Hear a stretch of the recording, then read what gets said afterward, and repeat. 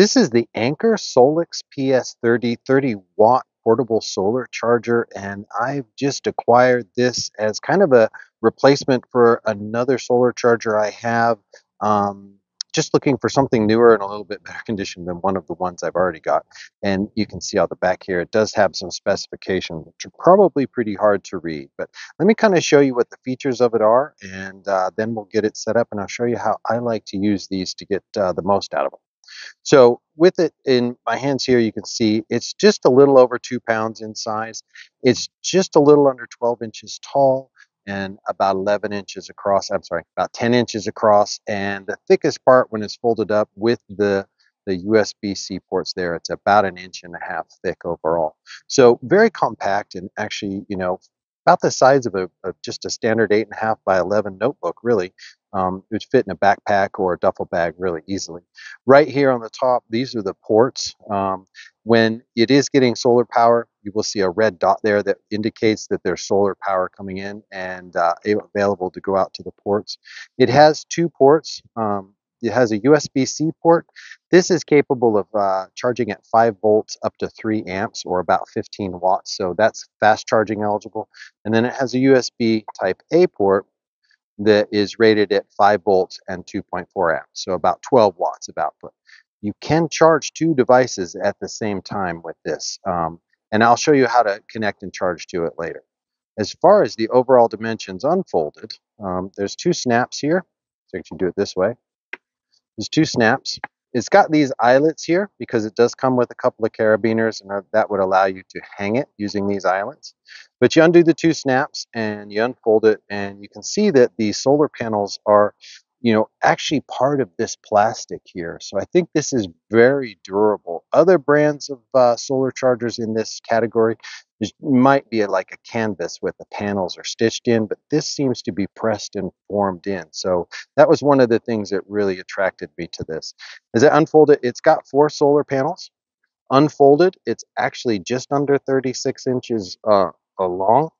And um, Again, at the other end, you can see it has eyelets as well. So if you were to hang it by the eyelets, say facing the sun, you know, uh, in this case, I would be wanting to face this direction. Uh, that would be how you would do it. Let me do this. I'm going to get it set up on the ground, and then I'm going to show you how I like to plug in uh, the devices I use uh, and how we charge it. All right, so I've got the Anker PS30 30 watt solar panel kind of set up here as how I would normally use it. Like I said, I'm not a big hiker. I'm mostly sort of picnicking and, and maybe camping a little bit. So I like to lay it out flat and uh, angle it up towards the sun. To do that here, I'm just using some bricks. You can see behind it here, if I get in the right position, I've just got some bricks under here. But angling more towards the sun is going to help you get more power out of it, which is going to help charge your devices faster. But I want to show you how I've got a Galaxy S22 and a Veektomx 10,000 milliamp hour battery and some cables. I just want to show you how we connect it. And uh, one of the things I love most about this is you can actually really charge two devices with this, and it does a pretty good job of it, which I've not found on a lot of solar panels of this size. So let me just grab Oh, hold on a second. Let me just grab the panel here. And so on the back, and I showed you this earlier, there's the two ports. We're going to start with the USB-C port because that's the one that puts out the most power. It'll put out up to 15 watts, so 5 volts at up to 3 amps. And to connect your phone to that, you're going to need a USB-C to USB-C cable put that in there. And this one is happens to be a Ugreen cable because I like their cables a lot. And then I've got just in it Galaxy S22. Let me put the panel back in place here. put the panel in to make sure it's getting power. And then we'll plug in the phone and we should see, hopefully you'll be able to see it. I don't know if the screen's going to be bright enough, but we should see the indication that it's charging. Yep, there we go. So now we know that it's charging. I'm going to leave that connected. And then for the second port, I've got this 10,000 milliamp hour battery, and I've got a USB-C uh, to USB-A cable. I'm going to plug the USB-C end into the battery here. And then I'll pick up the panel as well.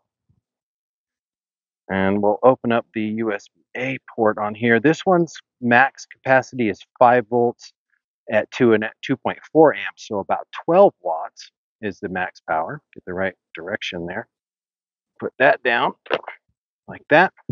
And now we've got both of the devices charging. You see the batteries charging there. I see it very well. It's flashing. It's 44%. And now we've got both devices connected and charging. And like I said, this is this is one of the few 30, this is the only 30 watt panel I've tested that actually does a good job of charging two devices at once. So that's made this Anker panel my new favorite uh, 30 watt portable solar charger.